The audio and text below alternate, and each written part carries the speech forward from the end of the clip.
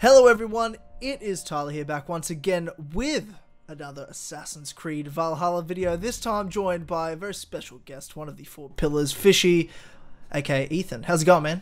It's going good. Thank you. Thank you for uh, for having me on this uh, on this video. Yeah, no, we're gonna have a good conversation about Assassin's Creed, and I can't wait. Uh, uh, we we just had you on the podcast, and the As Always podcast, so it was like, uh, we can't, you know, uh, we'll um, we'll talk about it again soon when we do a Four Pillars one soon. But I'm like, I need to catch up with you uh, as soon as possible and really, you know, discuss with you the things you played, and also so much news about Valhalla has come out in the last uh, couple of days. So I really want to get your thoughts on it, give you my thoughts, and maybe we can bounce some ideas off each other, and of course, get your thoughts on the game itself that you played. Of course, it was a, um, a early build, you know, not, not the finished game, build, of course. Yeah. Um, I think it must have been a couple months old, something like that. I don't know, but it was it was just a it was just a demo build.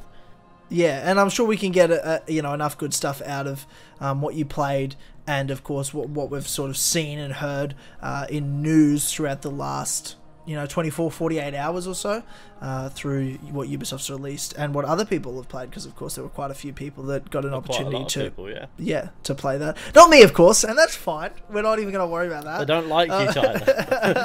They're, they're afraid fine. of what the Tynamite will say. Yeah they're just like yeah they are. This guy he might he might knock us. It's, it's a risk. But this Fizhy guy uh, he'll just set fire to a group of nuns that's fine you are a madman, and that's true. I set fire to a group of nuns. that is that is what I have done. You're you're an animal. You're an animal, but it's fine. It, they pick they picked you and not me, and it's totally fine. And I'm not sensitive at all. yeah, no. Well, you, no, have to, you have to watch clips like that and remember that there's always a demoist with you when you do when you play the game in like demos I did, and stuff. But dude, I wondered that because I thought to myself, Ethan, I know there's someone watching you play, and you're just sitting there burning nuns like you just yeah. don't care. I don't give a fuck. You're a psycho. We are catching jo- we are all catching jokes, me and this demoist. We're having a great time, you know. All right, so we've got a lot of Assassin's Creed to discuss, and I'm very excited about this. So I'm going to throw some questions at you uh, and ha- and have a bit of a chat, and we'll see what happens. Uh, the first thing I want to talk about, I thought the best place to start would be story. So you said in your preview video that you got an opportunity to play a short story arc uh, that happens in Valhalla. Can you tell us anything at all or a bit about that story arc and or at least give us a background of what happened uh, in this story arc? Well, it's it's quite out of context really because I don't have the I don't have the story up until this point. All I understand is that you know Eivor's already encountered the hidden ones, already built the bureau in the settlement, which you can do as the player, and um, there's already been some encounter with the Order of Ancients. Um, as for the story itself, it's pretty bog standard. You're introduced to the Sons of Ragnar. Well, Sons of Ragnar is what they're referred to, so we'll just stick with that. And one of them's called one. I forget what their names are, but there's one called Ubba. That's actually one of them. The other one I forget his name. Uh, and he's the interesting one because he, he comes across as like a sociopath when you first meet him, like he's mental, like he's nuts. You know what I mean? He's literally got hair growing out of the top of his head, and then it's parted so to one side, and it's got bald the rest of it. Um, and Half hair. He, well, whatever he is, he's he's a fucking nutcase. Even and his barber needs him to stop. Make the barber call. Stop. He needs to um, go to the um, tattoo shop in your settlement. That's what he needs. He needs to, to go to the tattoo shop in the settlement and get it. Get just go bold. What What's the point? I mean, the rest of that, I could talk about the details of it, but they're a bit hazy to me because, like I said, they're out of context. All I can say is I can talk about the quality, and that's where I really want to go with this because otherwise we'll be here till the cows come home. And the quality of it is, it's all right, but it's out of context, so I don't know how good it is. You weren't invested yet in what was happening. I wasn't invested whereas... because it's right. out of context. Yeah. Now, now, a question I have, I guess, in terms of story wise, is you played a uh, this this sort of demo was set in Mercia. Was it east yeah, or west? It was. I would. I don't know. I don't know if it, well. I'd say it's pretty. It was pretty east, but I mean, as far yeah, I think it was pretty centric actually. To be fair, because it's where the it's where it's where the settlement is. It's pretty central to the map. Like oh right, so the settlement's actually I thought the settlement must be coastal, but the settlement's uh it's riverside, right? It's b- beside some sort of like you know water source. Yeah, it's a, by a river. Yeah, and it's in Mercia, central to the map, is it? It's pretty centric to the map. Yeah. Right. Um, okay. That's a surprise. I think I don't know about you, but I th- was assuming it would be sort of in East Anglia, off the Uh, coast. It, I think it's sort. Of, I think it's sort of designed to straddle East Anglia and uh, Mercia, but I think it's in Mercia. Right. I think Uh, And that's where the first demo took place, correct? Uh, East Anglia. the East Anglia demo back in July. Yeah, that was Yeah. that was where that one was, and then this one was Mercia for sure. Were you able to gauge whether or not this demo was set after or before the previous demo you played? I think before. Before. Okay. So this was an earlier stage of the story arc, I guess you would say. I think so, but that's the only reason I say that is because on the map that you see in in the settlement, East Anglia had nothing over it, so it wasn't you hadn't really gone there or anything like that by that point. But then again, they can manipulate it to look at however which way they want. And obviously, there's certain choices you can make in what you tackle first because there are Yeah. multiple story arcs. It's come out that there's three main story arcs similar to Odyssey. However, the endings sort of converge. You've got the sort of Viking settlement story arc that I assume mostly centers around your relationship with uh, your Viking f- clan and uh, Sigurd. Then you've got the Hidden One story arc, and then you've got uh, Eivors himself, herself, um, and that story arc. Uh, I mean, we'll get into the himself, herself stuff because a lot of stuff's coming out about that in a second. it- it's complicated, isn't It's- it? it's- unnecessarily so. It's an Yeah. onion. It's an onion. There's some layers to this for sure. There- There's some serious layers, and they all make you cry. So yeah, it's gonna be They do. It's definitely onion. colourful discussion. Yeah. So, um, like, what what's your sort of thoughts hearing the news about the way they're doing the story? Or how there's three different arcs. Are you happy with that? The same way they did Odyssey. However, there is, of course, they mentioned the endings converge. The way I understand it is, it at face value sounds similar to Odyssey. You got your three different arcs, but did Odyssey really have fucking arcs? It had No. it had filler, filler, main story that is also filler. So it just had filler. Uh, but Yeah. with with Valhalla, what it I think it will be vastly different in the sense that they're going for that. They want to go for that Viking episodic drama within. So they want to have that, you know. So they'll have stories that embody different aspects of life. So say kinship or fucking courage or some shit. So they'll have all these. So it'll be broken down episodically. So it won't feel like a it won't feel like a three part three part necessarily in any sense because it's not they're not one after the other. They're they're sort of parallel, I guess. Um, and so there are three different arcs that run through. That's probably true, and they're probably all broken down into this Norse saga. Uh, besides from maybe, I would hope the Hidden Ones business. That's the one that I would hope was sort of different, and I'd imagine that's how they'll deliver it. So you'll have your Norse sagas, which are run parallel in different if, in different arcs, basically, and then you'll have your um, your Hidden Ones business. That's what I'm hoping. But as long as the endings actually do converge, then it ma- then it, it makes sense to matter, you know. Whereas with Odyssey, the endings didn't really converge. You could end one arc and then end the next, and then the next, and feel like you could have done those in any order and nothing. I, I had. I had no idea what order was supposed to be. Like you couldn't tell at the end. I'm like, what order was so supposed to do that? I have no idea. They're all. I don't think whatever. you're supposed to actually finish the game. I think the entire point is it frustrates you to the point where you turn it off. Yeah, yeah, Yeah, Wait, people, actually, managed to get through. finished it. yeah, no, I finished Odyssey and I thought to myself, never again. I, I got to the end and went, I could never play this game again. You know, um, I did the DLCs and I vowed to never touch, and I vowed afterwards to never touch it again. I That's couldn't how- do the DLCs. I couldn't. I did the first episode, and then that was it. That was the end. The way Valhalla's marketed, it comes across to me, especially when we talk about these arcs. You've got a clan arc, a hidden one arc, and then they talk about this Eivor specific arc. I imagine the reason these converge is because at the end of the day, it's all centered around Eivor and who Eivor is and who Eivor is going to become. Because of course, starting as a Viking, you get introduced to the hidden ones. You learn those sorts of skills. You learn that world and discover a lot of secrets. You, I'm sure, are going to have struggles then through England, the different kingdoms, the different rulers, the different lifestyle of being a Viking, and you know, is Eivor the stereotypical Viking or a, or a bit more of a you know, about the peace and the finding a home, and does that conflict with family and clan?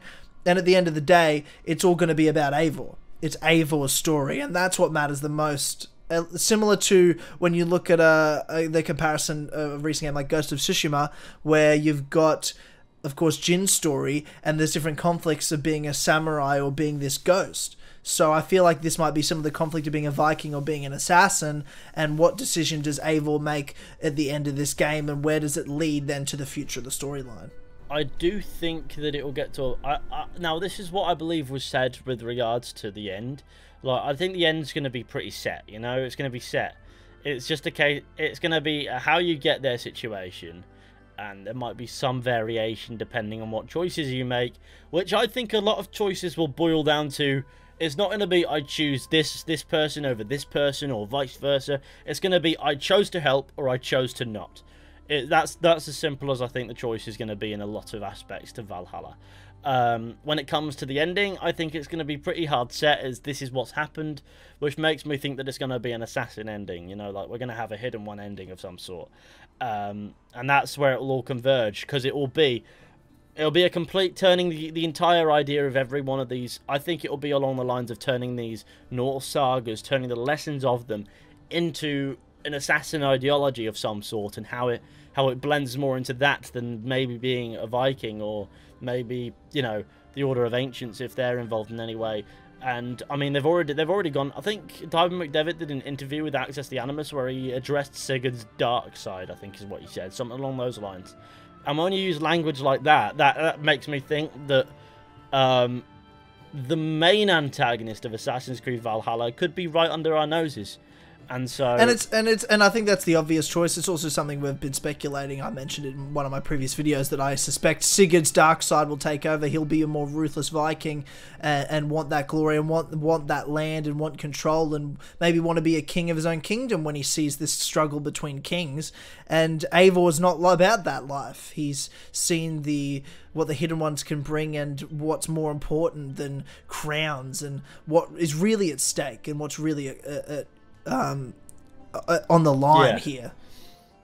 Yeah, I know, I know what you mean. Maybe, maybe with um, Sigurd, he won't necessarily be the main antagonist, but I reckon it will get to a point where he does something, he goes too far, and then Eivor has to, well, end him basically, because because by this point, I reckon Eivor will be pretty in deep with the with the the, um, the assassins and you know doing hidden one business, and and they'll be like, listen, Sigurd has to go.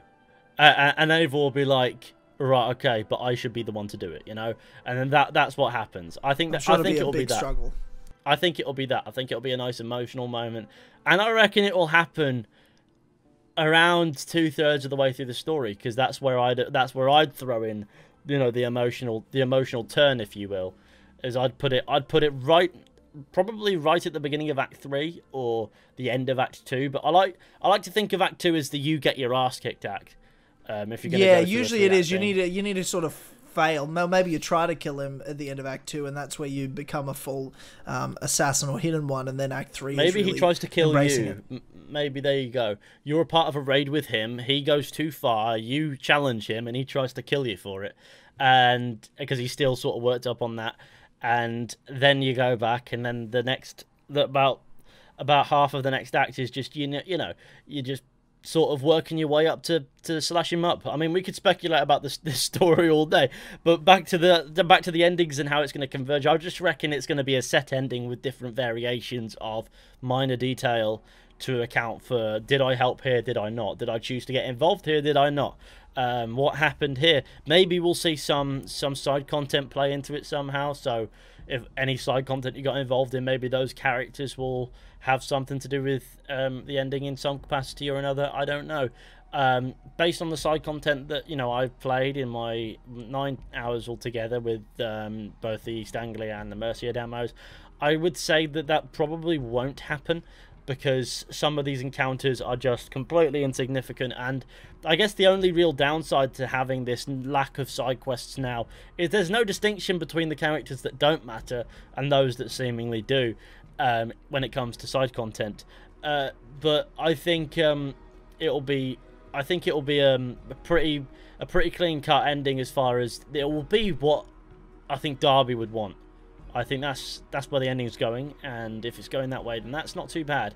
Um, Darby because... is literally carrying this fucking game on his back. Of all the things that have gone wrong, he is carrying it on his back. So I, I, I he's got us in. He's got the fan base in. He's got him excited. This um, community wouldn't be where it is uh, without him. It really wouldn't right now. It's it's on the brink, and he's and he's holding it together. So shout out to you, Darby. Yes. I'm sure there are plenty behind the scenes who are carrying Darby's vision, though, for sure. But he's the one that's marketing it better than Well, that's what, but that's team. that's what I mean. Like it's more about the Yeah. like face to face with the community. is the is the face of it. He's the fa- he's the face of carrying Assassin's Creed Valhalla. Behind the scenes, I reckon there's hundreds of people with with minds like Darby's. Uh, you know, and and I I look forward to playing the full thing. You know, like um recently it's just it's it's just got it's just, just turned exciting, hasn't it? Yeah, it's turned Yeah. it's turned exciting, and it's got me excited for the first time uh, at all, really, in a long time. I haven't felt this since like right before. It feels like Origins is about to come out. You know, remember that Oh, feeling yeah. where everyone's sort of coming together. There's a lot of positivity, Yeah, and man. we all have a good time and enjoy it and come together as a community. That's what it feels like again, and that was a fun time. The best time to be in the community for me was, especially with the four pillars, was the Origins, pre-Origins, post-Origins launch, and it feels like that again, and that's exciting. And I'm excited to be involved in that. Um, but one point of sort of contention, or not contention, but a bit of confusion for sure, comes from uh, Eivor's gender. Because of course you can pick male, female, but there's also this option where you let the game decide based on what memories are strongest. So it'll literally switch you between male and female depending on what sort of chapter, story, or mission you're playing. What do you make of this, man? Well, when I was in the demo, I chose to let the Animus decide, and for the entire six hours, I just played as female Eivor. Right. Uh, so I don't know if it's going to be as clean cut as that. Um, maybe that's just the demo. Let the Animus decide which Jedi you play as for now in this demo. But when it comes to the game, it might switch between which is strongest. And I think I look at that and I go, I know for a fact that I will select that option. And after maybe 10 hours of playing the game, it will annoy the fuck out of me. And I will then choose which character I think, which version of Eivor I think is strongest, which, you know, is, is you know, easier on the ears as opposed to the eyes, like the voice. And, you know, if it, which one feels more like they belong. it just feels I don't like the option. I understand what Darby's trying to say because obviously there's some sort of contention on with the modern day connection to and Layla's animus to which Eivor's which and is it her animus creating simulations of what past events could have happened and how it can be changed. That stuff set up from the empirical truth. I've got a video on it that explains all of that from Assassin's Creed Origins. Link in the description. Uh, so there's a lot of theories that I had from there that perhaps had finally come to fruition here. However, I just feel uh, from a gameplay point of view, I would rather just pick one or the other. I'm definitely gonna. I, I'm not sure 100% whether I'm picking male or female, but I'm picking one or the other. I just, I'm not gonna like jumping between it. It just annoy the fuck out of me. I think I think I think I'll, I want to prove that point myself though. Like I'm gonna prove that it annoys the fuck. I'll let you me prove- I'll let you prove that point. and and then I'll then I'll probably as soon as it starts annoying me, I'll ch- I'll choose which character I think carries carries Eivor. You know, carries what what becomes what I think is probably most accurate to be Eivor. Now, I think it's I think um I don't know. It's really it's a really difficult point because considering everything that's gone on within Ubisoft, uh, it's a really difficult thing, isn't it? It's become it's become so complicated um, when it's just a choice. But the choice itself, I think, needs to go for future entries. Just just give us a character, male, female, whatever. You know, write that character. If you want to do a female character, absolutely go for it, Ubisoft. Like, absolutely go for it, and don't don't go back on yourself. Don't, because it just it's it's not exactly a genuine approach to this sort of thing. Sure, maybe Valhalla was designed to have male and female Eivor in mind. Maybe it does have a plot plot decision, but the the higher up decision that got you there in the first place is this uh, is is this misguided conception that women don't sell, isn't it? Really, you've got to, you've got to look at the root of that and then go, that's the root though. So that's why, you know, you can probably not do it justice even if you tried. If anyone can do it justice in a way that makes sense, Darby can. But is it something that is it something that you can make sense of? and is it going to be important? And if it is going to be important, then why is that not the default? And why can you then just choose to do one or the other and completely skip out on it? If you do that, surely it doesn't make any sense. So, how integral to the story is it going to be if you if you can just choose to ignore it? If you know what I mean. Yeah, that's uh, true. It's a good point. It's a good point. So you, so you can choose to play as male Eivor fully, female Eivor fully or let the animus decide. And I I worry that the the an- the answer to why there's mis- well the mystery behind it might not be fruitful, but I can't say that because at the end of the day I've only played I've only played, you know, a few hours of a couple of demos in builds of the game that had nothing to do with that sort of mystery. So I'm more than happy to give the benefit of the doubt here and let you know and see what happens when the game launches. But i will say this if it annoys the fuck out of me i will take the choice to not bother with it you know? What does it what does it actually serve to the rest of the story? Like does it does it branch into it in some way with the modern day i presume or does it just does it just exist for the sake of it as a as a mystery that never gets explained or is it like an empiric the, the the empirical truth where you have to go out of your way to find out how it works which would be okay but if it's anything like the empirical truth, then it'll just make you want to blow your brains out with a shotgun. So yeah, yeah, exactly. So, You're right. You're right. It's it's there's a lot of questions, not a lot of answers yet. We're just gonna have to wait and see when the game comes out. Uh, we can speculate all day, but I would like to talk to you about moving on from the main story, but like the side activity. the side story, the side content. The side content is the absolute highlight of Assassin's Creed Valhalla. Um, I'll, I'll explain it in this way. So, we all know that side quests are gone. They've, they've, they've, you know, like the traditional side quest, which is tracked in a menu that feels a little bit cumbersome. It feels cumbersome in even the most fruitful of games, like The Witcher 3, where you just get piled on with side quests. You look at them all and you go, "That's a checklist longer than my life." It's terrifying. It's daunting. Yeah. It is. Yeah, it genuinely is absolutely absolutely horrifying to look at. It's untidy and it sort of bullies your OCD into wanting to do things that you would otherwise avoid. And as a result, your overall opinion on the game goes down. Now that it's inside activities, well, world encounters and mysteries and stuff like that, you no longer have to worry about having it tracked on a log, you know, in, in your face at all times. Um, and that's where that sort of thrives because you can, if it's not for you, you feel like this isn't going anywhere, you can leave it be. It'll be marked very subtly on the map where you left it, but it won't be in your log clogging it up. And so it doesn't feel like something the game wants you to do. It feels like it's something the game's put there for you to do if you want to do it. And I feel like that little subtle difference is actually incredibly big. Um, it also makes you not feel like the good quality stuff is going to get lost in the high quality stuff. It's easier to look at it as a case by case thing, It's just one big log of, well, some side quests are good, others are really bad. Like with Origins, you know, for every good side quest, you had at least two quests which had you just rescue somebody.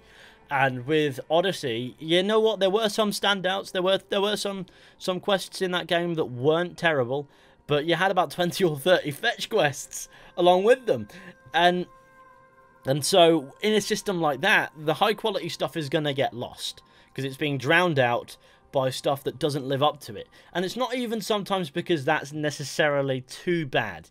The reason why it drowns it out is because when you when you assign the status of a side quest to something, you feel like it's going to have some substance. So when it's a one objective thing, one what what one little thing, and it's restricted to the side quest, it feels really disappointing. Whereas if you're in a world encounter, it can go any which way you want. There's no quirky title or play on a pun or a or a metaphor or an idiom to tell you where that story's going to go. You just have, you know, your own intuition and your own exploration to see what where that takes you. And you don't have any expectation that's set higher than the standard of what you're doing either. That's another joy of world encounters is you don't know if something's going to turn into something else or if it's just going to be a short story that it exists and is done inside five minutes. Um, so it becomes very much so a quality. You know, there's there's no there's no they've removed the they've removed the the false promise of quality that side quests I think like give, like because you cannot gauge how much quality a side quest is going to have um, based on the title or just the fact that it's in your log. But the fact that it's there, obnoxiously staring at you to do it and forcing you to do it, makes you think, oh, this has to be something valuable. This has to be something valid. Um, but no, not everything that happens in the game has to be a side quest, nor does it have to be valid or anything more than just one encounter. So when you're not in that system, you feel like there's more. It's more about exploration and less about a checklist.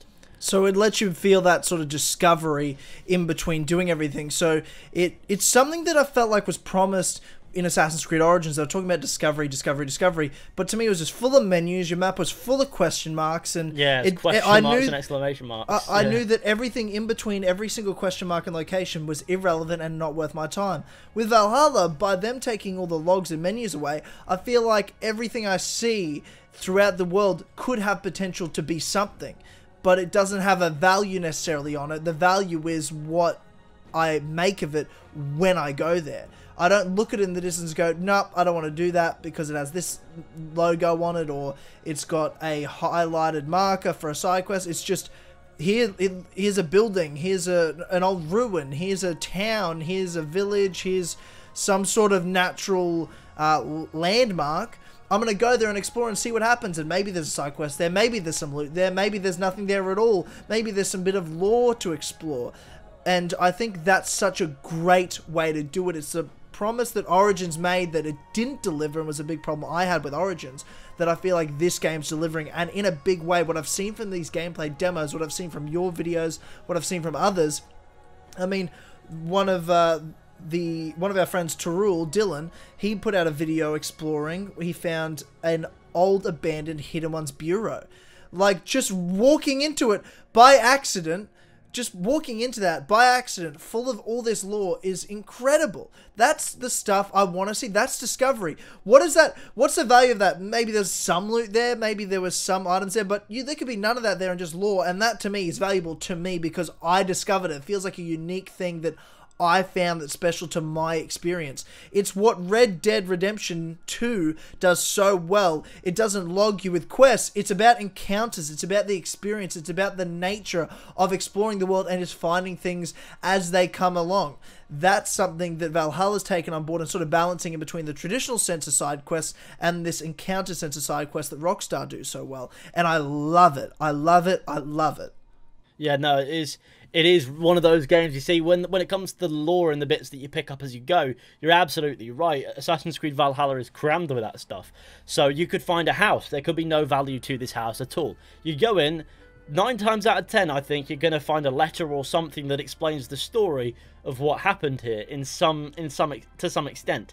It won't be anything huge maybe but it'll be something. It'll be something to give that that little derelict building some life and if you're going into a tomb or if you're going to an abandoned assassin bureau, you're going to find all sorts of stuff. Like like a writ of evacuation is what you find stuff like that. I didn't find it on my on my um in my 6-hour demo, but uh, and I thought I'd done most stuff that I could find. Uh, but it was there. There's always something else as well. So there's always something else that you haven't seen. Now, there, there are two reasons why Assassin's Creed Valhalla's side content, in my opinion, is already at an advantage over that of Origins and Odyssey. One, it's less overwhelming um, because of how it's structured in a way that tells you exactly what you're getting into, and two, it's just better organized. So you're no longer in a in a messy log full of side quests, multiple quests added. Look at all these fucking quests. Jesus Christ, stop! No, you've got you've got you've got three different things that you can find in the world usually. Um, there's, I think there's more to it than just these three things. But most content that you can find is broken down into three different icons. So you've got your blue icons, which are encounters and mysteries and things like that. So there's a lot of them. You've got your, your gold icons, which are like locations and things like that you can go and have a look at. I don't know if all are marked, but a lot of them are. And then you have your white icons, which are usually within locations, which are like little encounters you can have with merchants, where you can you can maybe maybe an exchange of dialogue, maybe just a trader, um, maybe it'll be a collectible and stuff like that. And there's just so many of those.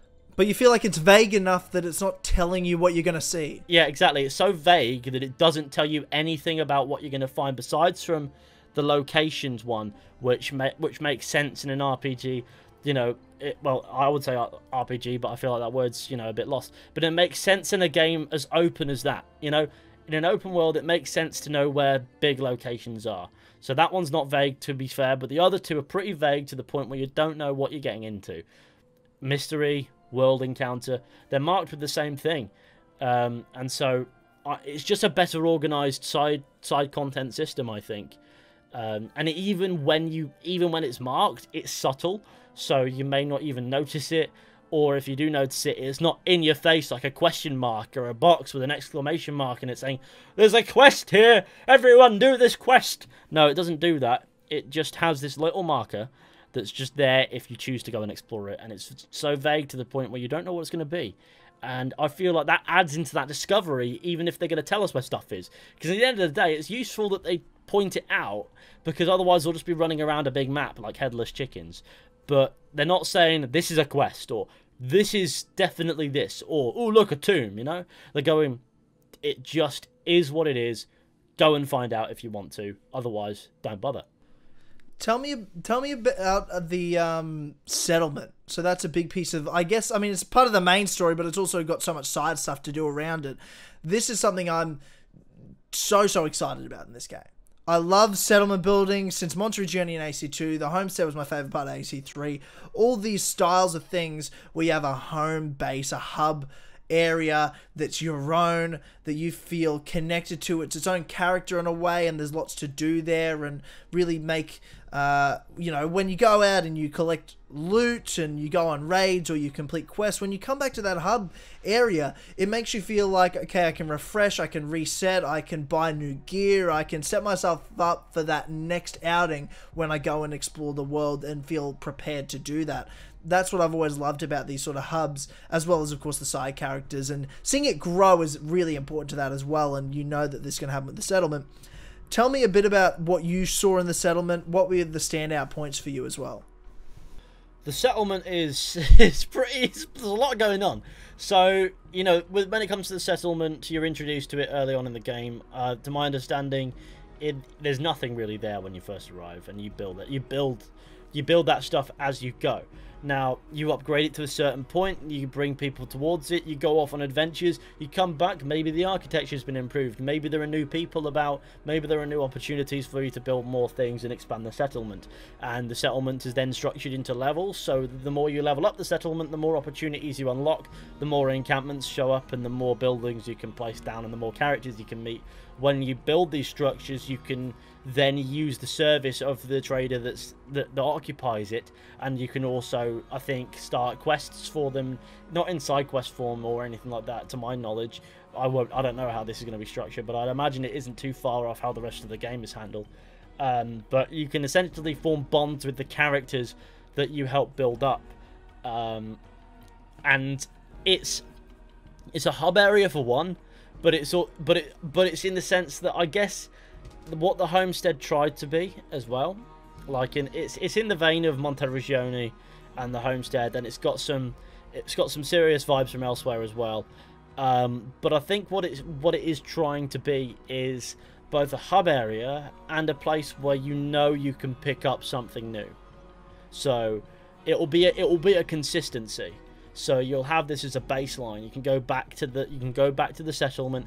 You'll find something. You can do that something, and there's always something to do at the settlement. Whether it be a simple game of Orlog, you know, you you create a Jomsviking, or you um, or you customize your ship, or maybe you do a some form of errand for somebody, or you do so, some sort sort of thing that turns out into something bigger. You help somebody, or you just you know use it to start your raids and you know go we're going here next that's where the quest is taking us or something like that. Yeah it's a good it's a good way to plan out your approach right? So you have your sort of war room and you can decide what sort of story arcs you want to go to what exactly regions that. you want to collect what missions you want to take then you know to upgrading and customizing Eivor himself your long ship your crew getting to know the characters they're familiar with. The thing that stood out to me the, the most yeah, exactly. It's that constant. The thing that stood out to me most about the uh, settlement, however, was the addition of the Hidden Ones Bureau in it. Yeah. a character called Hytham. Hytham, um, that's right. Eerily yeah. similar to Haytham. Yeah, nice, and he's it's, it's definitely a nod that, that yeah, Definitely a did- nod. whoever's idea that was, give them all of the raises. All of the fucking races. That was a good nod. I looked at that and went, "Yep, okay, that was that was so easy and on the nose, but it works." Yeah, it does work. It's introduced out of the context. Yeah. So yeah. there's no there's there's there's no direct referencing or anything like that. It's just a name that's similar, and it just so cool. it was just like, yep, okay. So you you've you yourself saw the bureau in your settlement. You saw Yeah. Hytham there. Now, what we've heard is that you get assassination contracts, and I'm sure different main quest lines to do with the hidden ones from this, as well as different rewards are like lord tidbits. I'm sure upgrades to your uh, assassin skills and outfits, armor, gear, things like that. Did you get to see any of that, or is this just for you news as well as it is to me? Well, well, when I played it, no, there was nothing like that uh, in their in the build. They wanted to save that, I think. But I will say this: the assassination board also overlaps with other activities. So in the world, you may run into these gu- these goons called um, I think they're called zealots. Not not from Halo. Don't get confused, but. Obviously, they're like big. They're like big, high power level things. They're like the. They're like they're more like the Phylakitai from Origins than the mercenaries from Odyssey in the sense that their level or power level isn't always gonna. It's not. It's not in any way relevant to yours. So they, no matter where you find them, they'll be stupidly powerful and they'll attack you. These guys are actually members of the Order of Ancients, and they'll kick your ass in the demo. But if you actually manage to kill them, you'll trigger a White Room confession. And so White Room confessions are back. That's something we know because I watched a video by Access the Animus interviewing Darby McDevitt, and they went into that into that depth and they, they spoke about that, and that's really cool. So the assassination board, i- I reckon it functions similar to the cult from Odyssey, which wasn't a bad concept in itself. It was just a bit much, and they didn't really flesh it at all. They didn't really have any flesh to it. It seems like they're going for something similar here, with maybe 36 to 48 different targets, but there's a bit there's there's more flesh. There's more flesh to it. You hunt these targets down, they overlap with other things, some with the main story, some with the open world just generally. Others you have to go to the board for, and then you have to hunt them down naturally. And I'd imagine they all probably have some form of White Room confession, but I wouldn't, I wouldn't, I wouldn't bet money on that. Uh, but with Darby, he fucking loves them, doesn't he? He does, he does, he does like his White Room confessions. So I reckon he'd be like, "Do you want me to write 50 White Room confessions?" Yes, I, I'll. I'm already finished. I've done 70. right, no, that, yeah, no. Um, so that's cool. Um, I didn't get to see the assassination board in action, unfortunately. I'd have loved to. I'd have been that would have been my entire demo. It's just hunting down, is hunting down um, the Order of Ancients and slashing them up. Uh, but I think they wanted you to taste. I think they wanted us to taste the game, and they understood that if that was in the game, we'd get lost in it for hours and hours and hours because there's just so much to it.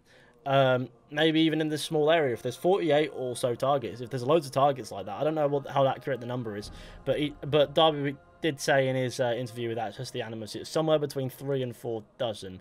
So that that gives you a rough idea. It's a big system, so you would get lost in it, even in a small area like that. So it wasn't in there because you wanted. They wanted us. I think they were just wanted us to experience a general vibe for the game.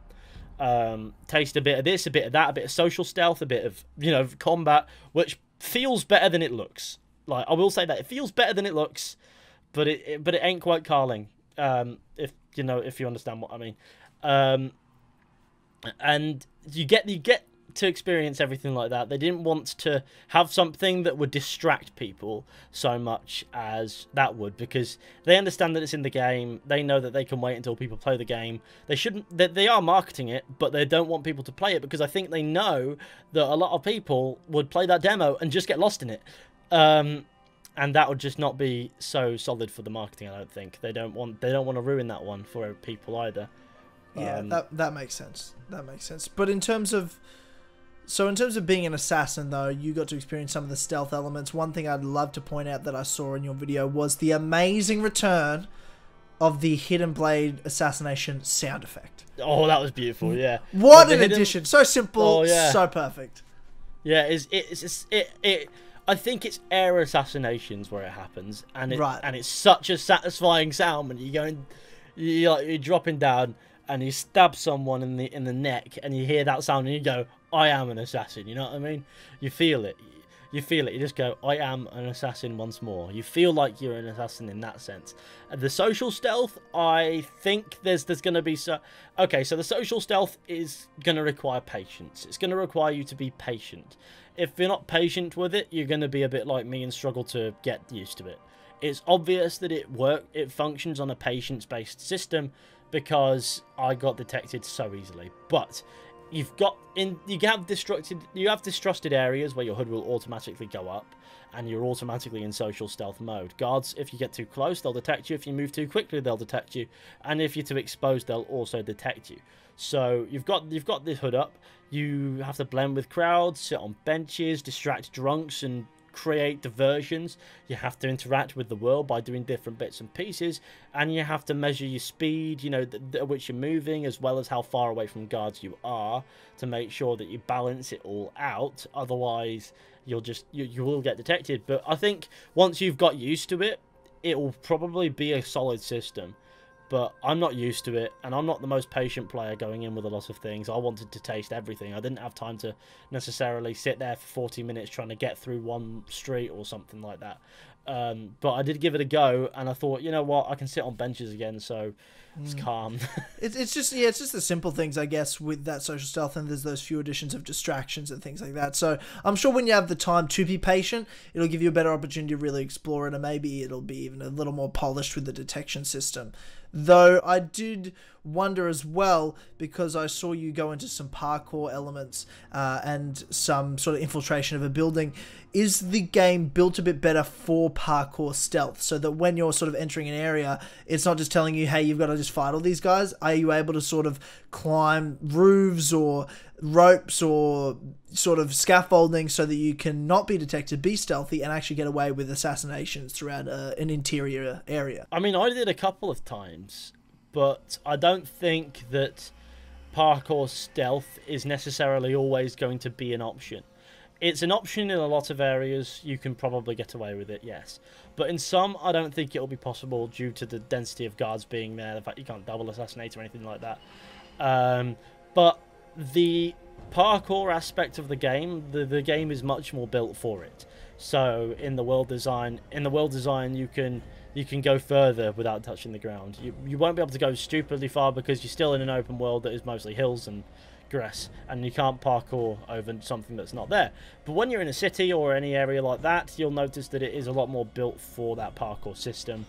And uh, when it comes to a lot of interiors, they have a lot of them have rafters and things like that that you can go through, you know, stuff high up that you can keep that you can keep you off the ground and then you can pick people off with your bow you can um, create distractions with things like you know you can you can basically throw stuff or you can shoot something that'll that'll go kaboom. Um, I don't really like you know sort of similar to the pots in in Origins and Odyssey. I think you know the ones that just sort of catch fire.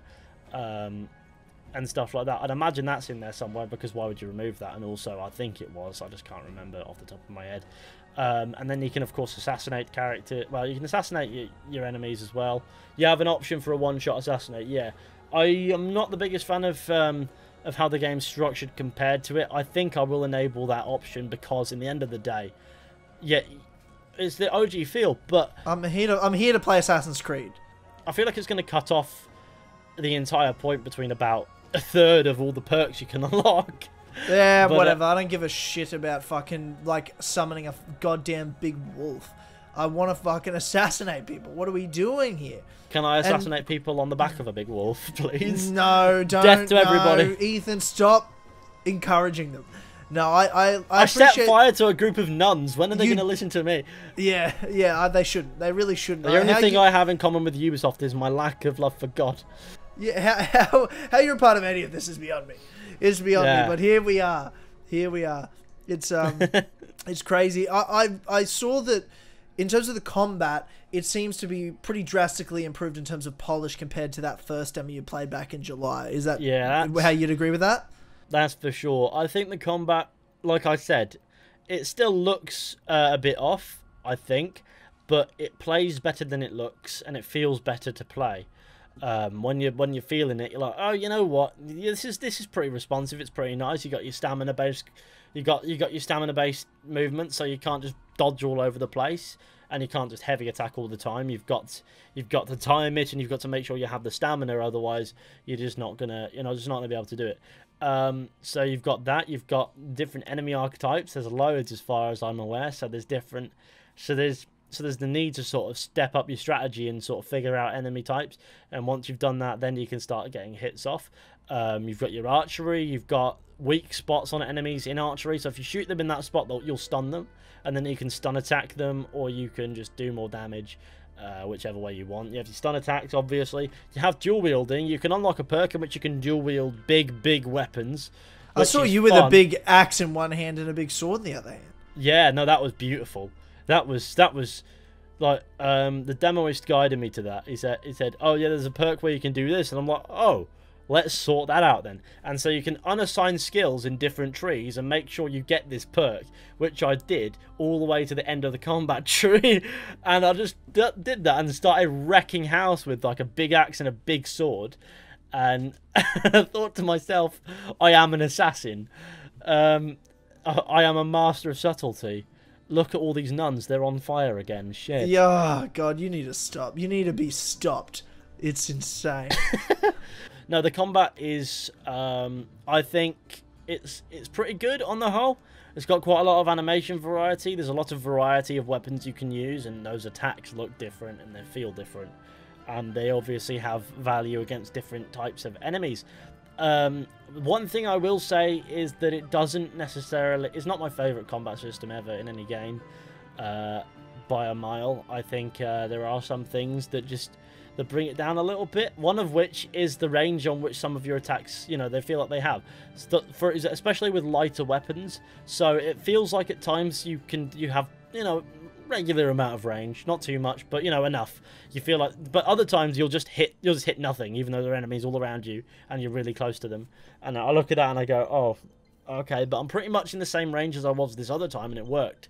And so there's a little inconsistency in that, and that that imbalance in my mind hits me. I don't know if that's just me being silly and imagining it, or if there if there is a difference, then fair enough.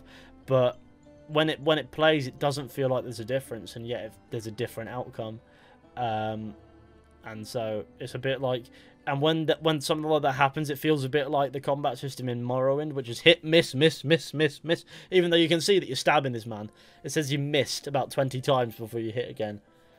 Um, and it feels a bit like that, but you can see visually that you missed, and it doesn't feel that you should have. Yeah, well, it's definitely noticeably better. It's definitely noticeably better, even just from watching it from the build. And I wasn't too worried from that first early build because it was the same with Origins. When we first saw the combat, it looked not good at all. And even the dodging was an issue, but those are all things that ended up being fixed when Origins came out. And I quite enjoyed the combat system in Origins, to be totally honest. So it's it's encouraging to see at this stage it's already improved drastically, and I'm sure it'll be even improved uh, at least slightly from here to the release of the final game as well, which is which is exciting, and it's what you'd hope to see as well. Uh, in terms of the longship and the gameplay mm. that that entails. How was that to play? Uh, and is that sort of? I, I assume that's all free roam the same way if you had the Jackdaw and Black Flag. Yeah, that's that's about right. What's not to love with the Longship? It's just relaxing, calm, and you can sail from place to place. And is it efficient you, and quick? It's efficient. Well, depends on whether or not you moor it into something, but yes, if provided you're in the water, it's pretty quick. Yeah, and it feels faster than on foot. Um, but if you beach it somehow, it, it can take a little while to get out of the mud. Um, as for uh, as for playing it, you know, you've got your your songs and you've got stories that your characters will tell as well, and they're both very nice to listen to, very fun.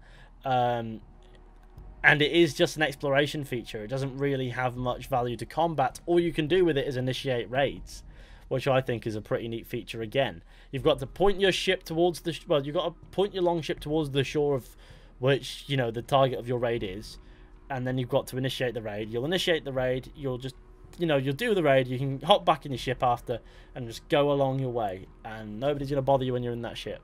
And I feel like it's a nice, calm way to go from A to B, and It's it's, it's, it's like a it's like a breakdown, if you will. So while you're in it, you sort of recharge for the next thing, and it's quite neat. And those stories and those songs that you can hear will just add to that. You can also customize it, and I customized it to make it look scary as fuck.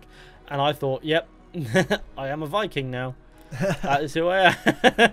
oh, that's awesome. Uh, there's so much. There's so there's so much excitement now that I, I didn't feel before just from having a bit more comfort with the assassin stuff in there and the gameplay mechanics and the social stuff but also seeing the improvements in the things that I was a little worried about with just basic graphics. The game looks a lot better. Uh, the combat looks a lot better. It's beautiful. Just seeing a bit more having that better understanding of it. Do you feel better about the game now than you did before? I think the game is going to be pretty damn good. Yeah, I, I'm quite confident in that because what I played was good, and I don't see the game dropping anyhow. And I also don't see that being anywhere close to the full thing. And I think we know the writing's going to be strong. Like I think that was something we were never worried about. It was the it was the gameplay we were worried about. It's the gameplay. I reckon will be fine. I will say I'm not a fan of the fact that it's still the same the same fucking feel as Origins really like you know for the most part most most systems are intact it does feel very different don't get me wrong you can toggle sprint. You can do little things that make a massive difference. You don't have you don't have checklists in uh, for enemy camps and forts uh, and it just feels like a higher quality game in that sense. It feels like an improvement by a mile but I don't feel like we should be still using the same gameplay in that engine as we were with um, Origins. I feel like they should have evolved it by now somewhere somewhere along the lines in in in a in a substantial sense, which is what I'd imagine they'll do for the next Assassin's Creed game, be it good or or meh. I reckon to be completely next gen, they're going to give it an entirely new it not not not entirely new. It'll obviously still be Anvil, but it'll be a new version, if you will and so it'll be an, and so it'll be built you know differently and run differently is what I'm trying to say because in the end of the day it's always been Anvil with Assassin's Creed hasn't it? So it's it's you know it's technically it's still it's all the same engine just different types of it. Um, different versions different diff, different generations if you will. I reckon they'll go I reckon with the next one they'll shift onto a new generation of um, of, of gameplay engine. But I feel like this generation is by the end of Valhalla, even if the gameplay's good, it'll feel like it's starting to outstay its welcome. It felt it felt like it was outstaying its welcome in Odyssey. So that's my biggest criticism with the gameplay is the the generation of engine just doesn't feel like it it doesn't doesn't feel fresh. Um, but everything else in Valhalla says otherwise. And so I'm pretty I'm pretty excited for it. Uh, I reckon the game's gonna it, I reckon the game's due more credit than it's perhaps getting at the moment from people, especially in our community, who go, uh, I might, I might just leave it and not get it, or I might just get it when it's on sale, which is fair enough, of course. But I feel like the game, I feel like the game deserves, um, you know, a good look in at least first, um, because it is, it's got a lot to offer, and I reckon it'll probably be pretty damn good, provided they get most of the narrative stuff right, which is a given, and the hidden one stuff right, which is the which is the one that we need to make sure. It does seem like there's a lot of assassin stuff in there as well, so you know, just a wait and see one really. But I reckon it'll do okay. I think we're at that stage now. I, I have that Origins feeling again. I don't think it's going to be some uh, amazing 10 out of 10 Ezio Trilogy days. We're long past that. This is will be its own thing. We're in a, this sort of Ancients trilogy with the Origins Odyssey now Valhalla. I expect to be much better than Odyssey and maybe on par, hopefully better than Origins and we can then move on to the next era after this on the next generation of consoles. Uh, I guess the last thing I wanted to ask you about before we wrap this uh, sort of discussion interview up was the fantasy elements. It's something I don't like about Assassin's Creed because Assassin's Creed's not a fantasy or never was a fantasy before Odyssey. It's a science fiction, history based game franchise, but they introduced these fantasy elements, which is ridiculous. Now, in this game, they're using different explanations for it, and it's all like hallucinations. But we knew these fantasy elements were coming. So here we see the different realms uh, of Norse mythology, uh, like Asgard and Asgard, for example. Yeah. So, did you see any of that, and what are your thoughts on those features being inside Assassin's Creed Valhalla? I didn't see any of that, but hallucinations. I did a part. I did a. Uh, a hallucination challenge where basically you find uh, you find some mushrooms, you eat the mushrooms, you get high. There are seals everywhere all of a sudden in five gates, and those seals point towards the gates, and you have to go through all the gates in order. Um, based on which gate the seal is pointing towards. And it was a fun little challenge, but I didn't really get to explore any fantasy elements beyond, you know, that little challenge, which wasn't really fantasy. It was just you got high and started seeing seals. Um, I think a lot of um, the fantasy elements will be explained off as you're high. You know, you just you're just absolutely fucking blazed, or you've you've done some psychedelic, or or you've just eaten the wrong kind of mushroom or you know you, the sea has brewed you up another one of those another one of those brews. You should really stop trusting her. She's rude for you again boys. Stop it. Um i don't think it's going to be anything too outrageous. It's just going to be something that's there. Um you it'll probably have some form of value to the story in some capacity like you'll do it because it you know the story requires you to one way or the other at some point i reckon a lot of it will be optional but I reckon there will be some parts that aren't. But as long as that shit isn't real, like, you know, real, real in canon, like it's not actually happening like that, then I don't really mind too much provided it doesn't go take too much time when compared to the rest of the game. Um, I think it will be handled similar to the giant snake in Origins in a lot of aspects. I Which was fine. like that. Yeah. There'll be there'll be a lot of set pieces like that. I reckon but I think they'll mix it up a little bit and make a world space with Al- with like an Asgard. Um, so there'll be a little world space, but there won't really be. I don't. I can't imagine there'll be too much to do there. I reckon you'll always go there with a specific objective in mind. Uh, I, I can't imagine them not doing that. But if they do do that, then provided it's optional completely, whether or not you even bother with it is is all that I think I mind. Maybe it'll be a part of some character journey with Eivor where it becomes a realization of their of of of their purpose, if you will. They get they they get high, they go to fucking Asgard. They see every they see everything kicking off, and they go right. Okay, I must become an assassin or some form of way to get to that conclusion. You know, as long as it has a value and isn't overdone, I don't think it'll be too bad. They're marketing it. They're marketing it, which is the biggest indicator that it will be overdone. But as long as it has value, it will be okay. you know. Yeah. yeah, for sure, for sure. If they're, if they're trying to market based on it, it means it's going to be something overdone completely. But uh, as long as it has value there after the fact, then that's all that I guess really matters. You know yeah. what I mean? Well, yeah. Oof, there's a there's a lot to be excited about. There's still a lot of questions up in the air, but overall, I think we're both looking forward now, finally, to Assassin's Creed Valhalla that drops in less than a month. Uh, Ethan, thank you so much for joining me and uh, being part of this video and filling us all in on on what's going on with Valhalla and what you played. So thank you so much for that. Yeah, it's no problem. No problem at all. And uh, ladies and gentlemen, if you like what you saw here and you want to see more, be sure to subscribe to the channel, like this video, and of course, if I'm sure you're subscribed to Ethan's channel. If you're not, go over there and do that and watch his content that, that, he's put out. The question. Yeah, exactly. How did that happen? How um, did that even happen? Sort it out. Sort Link it out. description, yeah. 100%. It'll be on screen coming up at the end here as well. Support us over, or well, support me. You have a Patreon as well. Support Ethan on Patreon. Support me on Patreon. Patreon.com forward slash as always.